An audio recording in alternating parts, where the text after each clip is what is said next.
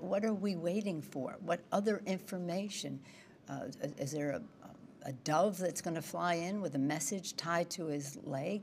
What is it that they are waiting to find out before they can make a decision? If we were waiting for something, you could say it was well worth the wait. But we're just, the, the Republicans are just delaying. They're just delaying, delaying, and delaying, and that's not responsible.